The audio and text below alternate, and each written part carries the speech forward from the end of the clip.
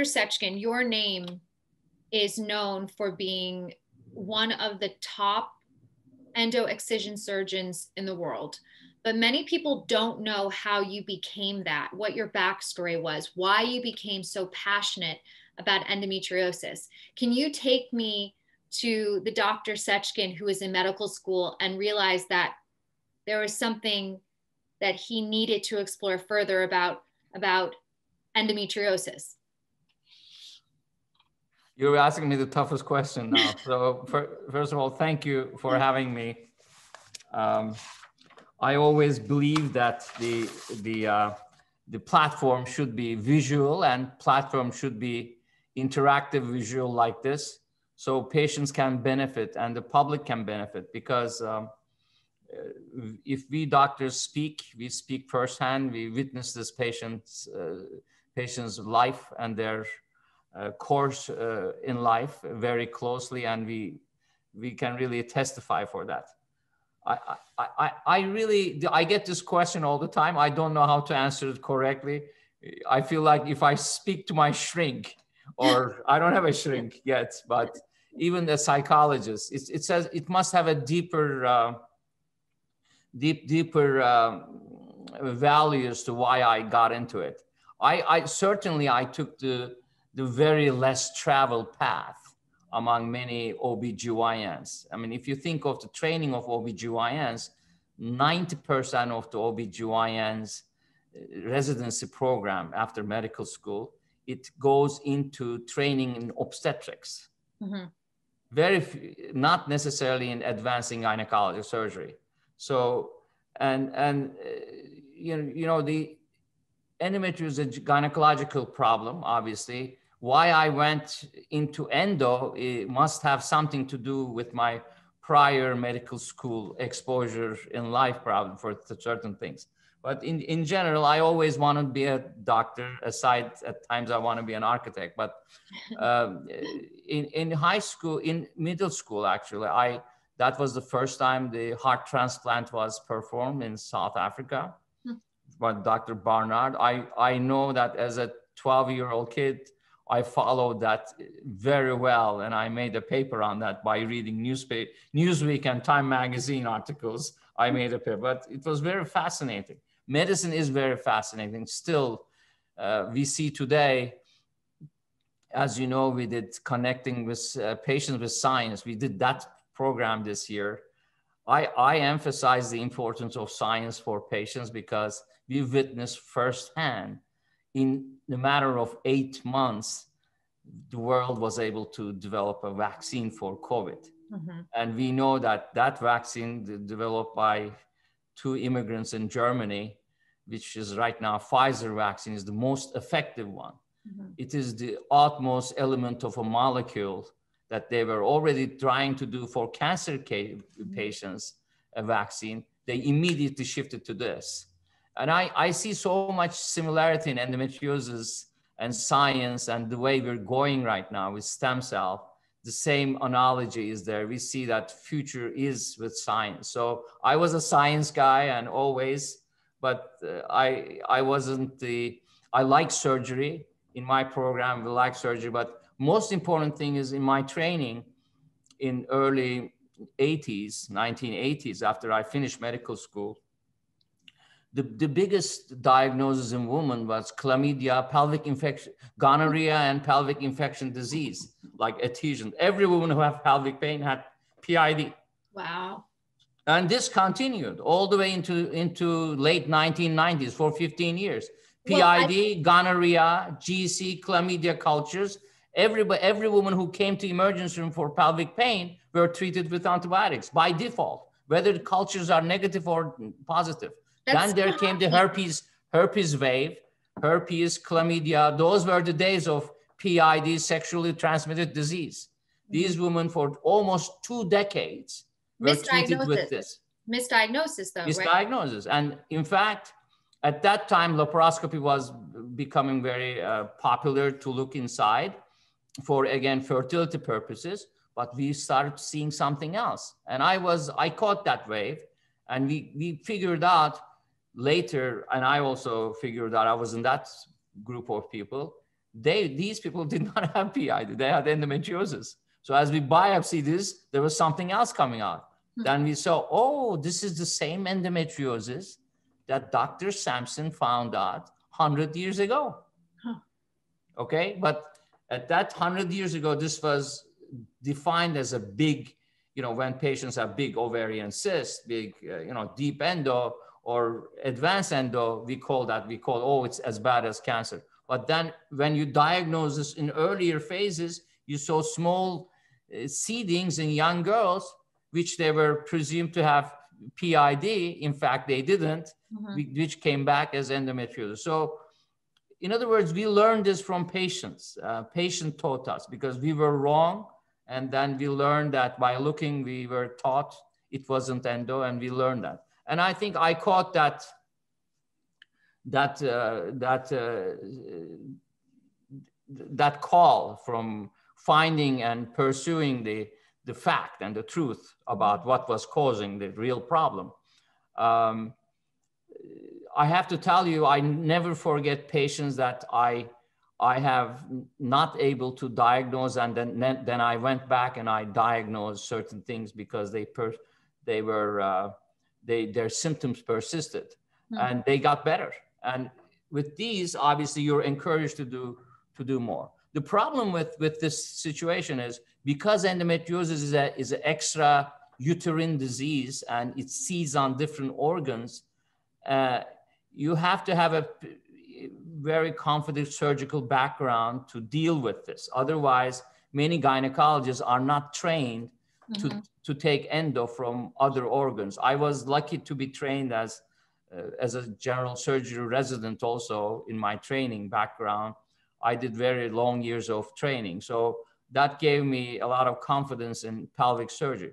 Pelvis was, was an area in body I was very, very, very, very uh, excited and very curious in a, in a sense that it's so complex. Yes. And uh, it wasn't about the cancerous pelvis, but anatomically, there's so many organs, so many nerves. So it's an area where it feeds a new life and it can go nine months and then there's a baby that comes out and where other organs are intimately close to each other bowel bladder mm-hmm. all the nerves blood vessels you know so in that case pelvis was a very challenging area. So in, a way you can say i followed the call where there was real challenge. I took that very tough road and i i never looked back. I mean i i have to tell you i'm I'm, I'm grateful that I picked this, this path because I know that I am, uh, I am in this um, battle with women that I am part of that.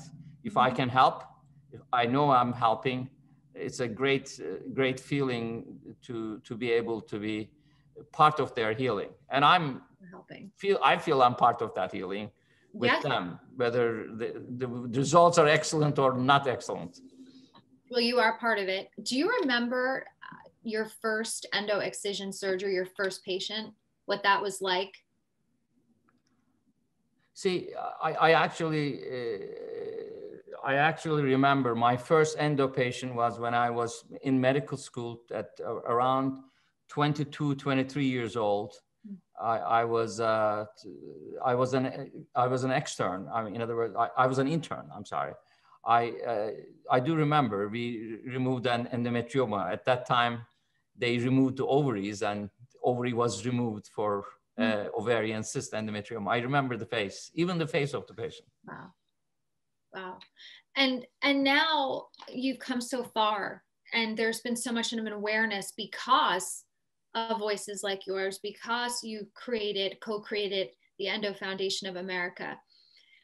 When did you realize and maybe you knew this the whole time, but when did you realize that people that were born with a uterus, their voices were not being heard? Doctors were not, some doctors, I should say, were not taking them seriously, that they thought their, their symptoms were IBS or even hysteria, stress induced, whatever it could have been, but everything but what was really going on with endo. When did you say to yourself, okay, I have to elevate this cause? Well, well, well, two, two, two things. I, I, I knew for sure, coming from a, a public health conscious background. Mm-hmm. Early diagnosis and detection is the key for a lot of disease to be to be cured or to to halt its mm-hmm. progression. Mm-hmm. All right. So I saw. I don't forget in my practical years as a surgeon. I have seen a again. You asked me, do I remember this patient particularly is important the way what I did mm-hmm. for the foundation. I saw so many patients with repetitive surgeries coming for pelvic pain. They look around, they can't find, yet they have endo, and you find it, and then their life changed. Mm. This was a Danish diplomat in, in New York, which was operated multiple times in, in Europe. And after I found something, some endo in her, some area, that she finally got symptom free and have babies and stuff. So mm. that result encouraged me that that was not be certain things has to be has to be methodically brought to the public eye and systemically reinforced as far as awareness and and uh, and um, study with research. Mm-hmm.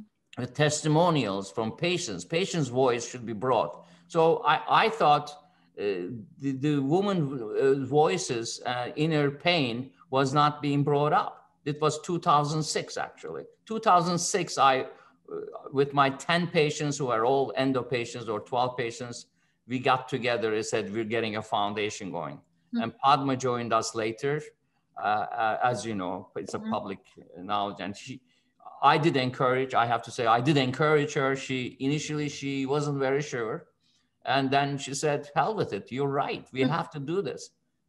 Padma comes from different background. Her mother is a nurse and she's very self-conscious about public health aside from her what she does as a model and, and figures that this is my biological life.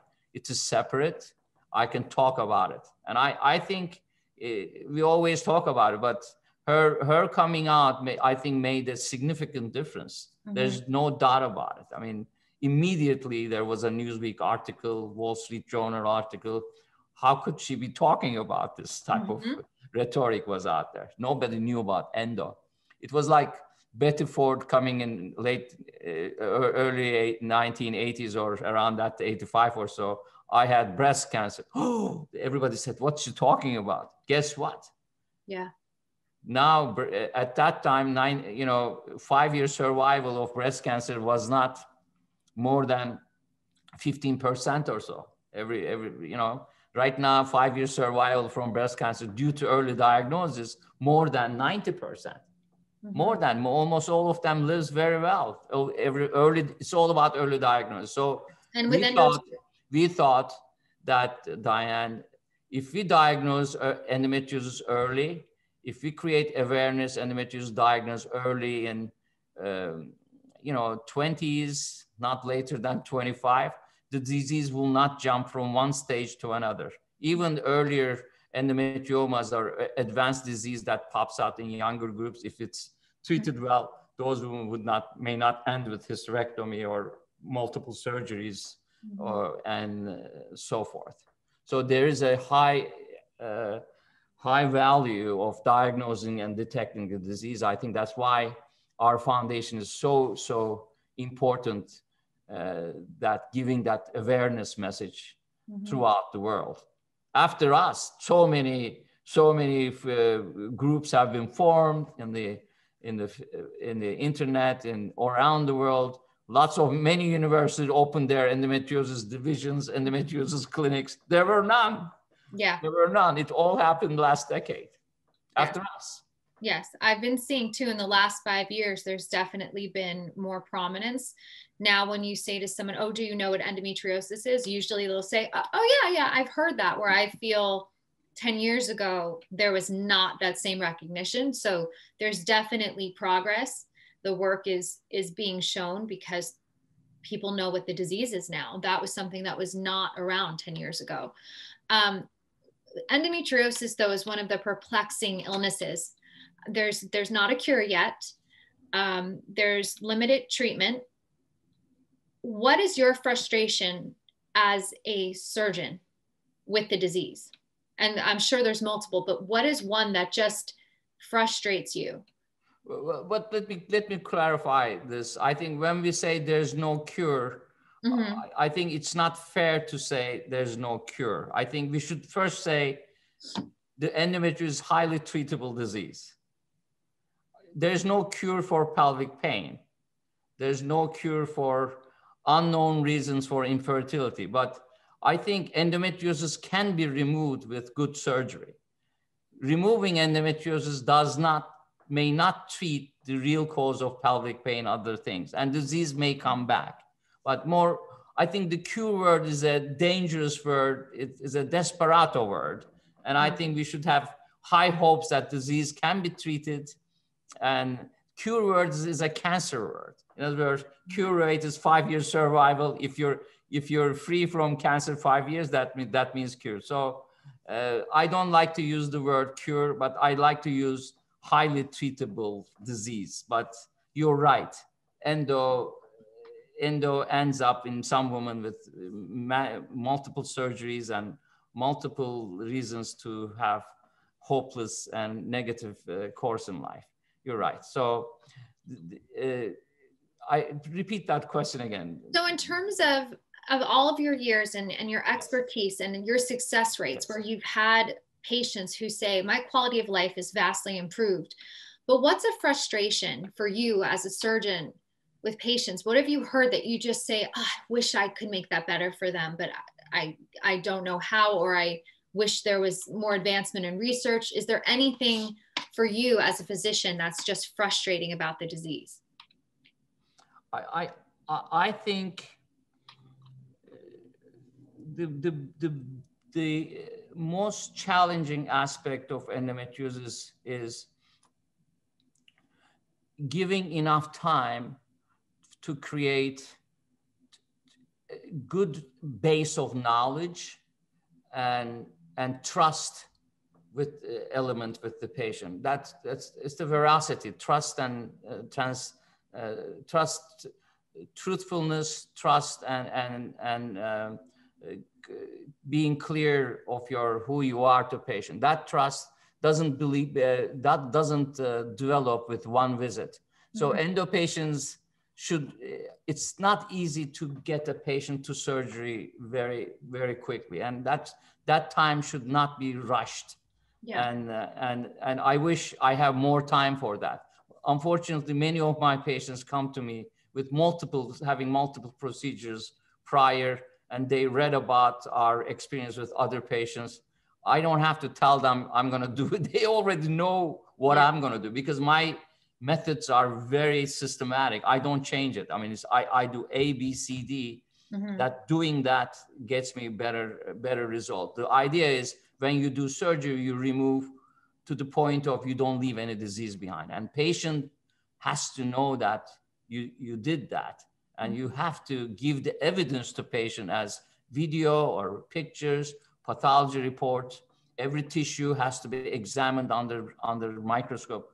Those type of um, elements in care gives the patient validation, give the confidence, and kind, kind of gives them the right to say, I was right to have all those, that problem. Here is the proof. Mm-hmm. The doctor removed it. It's verified. The evidence is on the on the pathology report. It's verified there. Then they feel so confident they move on.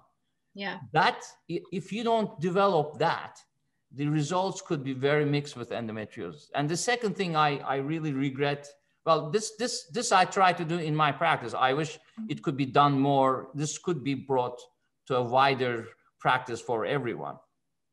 The second thing is, is very challenging is the element of uh, the pain element. The pain is, is the single most uh, cardinal component of endometriosis. And unfortunately, if the patients are initially derailed from the course of accurate diagnosis, pushed into the way of GI doctors or, mm-hmm. or gynecologists who don't have the experience on this and uh, go after symptoms without realizing how this could be connected to periods. Uh, the patients get multiple procedures and they lose distrust to the system, to any physician.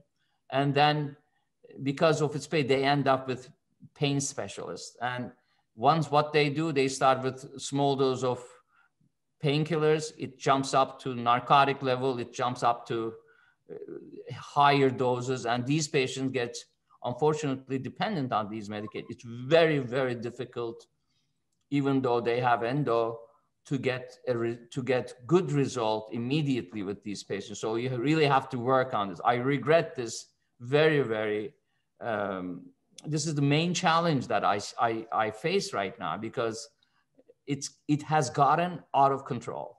Hmm. And patients without any diagnosis, they, they get every sort of um, um, heavy doses of narcotics or, or uh, and I mean, if these come in, in suppositories, it goes to rectally or hmm. vaginally to Valiums and you name it, you know, from vaginal but you know, Botoxes, it doesn't really stop. Uh, so, and without any diagnosis, IBS is, is the biggest, I say IBS is BS if it's endometriosis. Yeah. If you say IBS, yes, treat it, manage it, but if it doesn't work, work, and the symptoms are coinciding with periods, if you have IBS and killer, killer cramps, mm-hmm. if you have IBS of or painful intercourse, hey, wake up. Right. It's it's not IBS. IBS is a is is a syndrome. That means that we, you are you have bowel problem, but we don't know what. That's what the IBS is. So it is endo. Consider endo. If it's you have other symptoms with if your IBS flares up with periods, consider endo. Mm-hmm. So these, if I had the uh, if I had the opportunity, this these issues of frustrations are are basically patients coming late with multiple procedures uh, with uh, uh, with burning, with ablation, or you know, sexy procedure with robot. You do this, I advance this, advance that. Patients don't understand. The bottom line: the disease has to be widely resected, excised, deeply removed, so fresh tissue can repair itself without endo. If you leave endo, that tissue stays as inflammatory tissue. So um, among many, thing, many things, these are maybe technical, but in general, I wish the, the uh, fertility world respects endo as much as we care the patient about their pain issues. Fertility world, for them, endo is only when they see on sonogram. Yeah. The, the endometrioma, because they have to suck an egg there and mm-hmm. endometrioma stays on their way. So that's the only endo they know. They don't really diagnose any deep endo with bowels or no. peritoneal endo where patients suffer so much yeah. because it's not it's not about getting pregnant business. Also, obviously there's also silent endo. In other words, they may be even symptomatic, but they they have normalized their their pain mm-hmm. culturally or for whatever the reason or whatever work they do, they bite the, they, uh, their tongues and, and move, move along. And society has not come up with issues that, that women should not really have pain uh, with their periods, really should not as much. One day maybe. Anything be, be, beyond that is not normal. But society historically, to the roots of our biblical origins, women are supposed to have pain and they're punished with it and it is good. That's the way god created it. So the say the same thing goes on right now. I mean uh, yeah. we, we can go not. deep on that. I mean we're living in a world still. We have in certain parts of the world there are menstrual huts i mean if if you're you're having period you got to go to that hut and some women and be there until your period is over. And and every year we hear somewhere from india or nepal one mm-hmm. young girl get, gets burned there due to it's very cold, tried to set up a fire and and unfortunately could not get out and th- that becomes a TV news. Every it happens every December. You hear it. And then here we are in 2021 in the United States where women are you know anyone born with a, a uterus they are told that they have all the same rights but when it comes to diseases like endometriosis we're still not getting the money as, as easily as other things. Um, there's still a stigma about talking about your period. These things are getting broken down because of work that you are doing, work that the foundation is doing, work that we're trying to do here at Endo TV to normalize a conversation that a woman's menstrual cycle is not something that we cannot discuss. It should not be stigmatized, that it is a natural course of life. And if something isn't right, it's okay to express that and get help from the right physicians, from the right experts. Like you said, early intervention. I look back, I got my period when I was 11 years old. I had terrible periods. I had ovarian cysts that kept bursting and I was in terrible pain, vomiting. And no one mentioned endo to me. Years later, I'm 33, turning 33, and that in the hospital, no one's telling me what's wrong.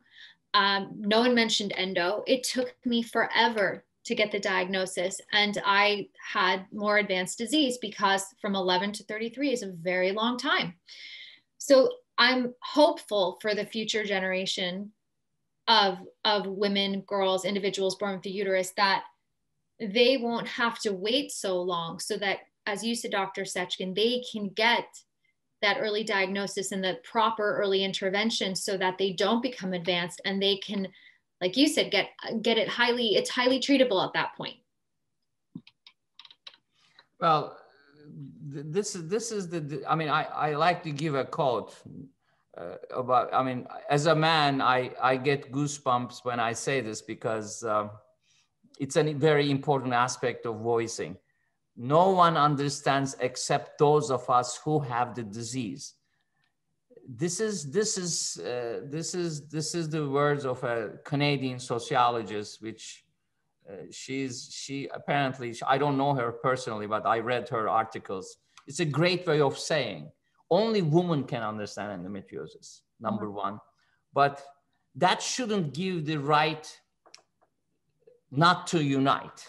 In other words yeah. Uh, as a man, I, I feel like yes, I don't have period, but in on the other hand, on the other hand, I I have spoken thousands of women with this disease. I've seen their inside. So, what can unite is the science. I think I regret endo community is divided. Same. And like you being say, you're talking about if I say, for example, endometriosis associated with menstruation, or retrograde ble- uh, bleeding or something like that, they would pick this and try to put me down because I said that word. Mm-hmm. It is what kind of doctor is this? That kind of stuff. Just the opposite. I see it because you, you cannot be flat earther. There is science behind it. The science is endo is associated with, with menstruation. Does menstruation cause endo? We don't know that. However, it triggers it. It has the material, genetic material, like seeds. It provokes the disease that is in the, in the genetics of the woman that is able to develop it, whether, whatever the root. So I personally think science should be the key to unite us. We have to have, be one voice.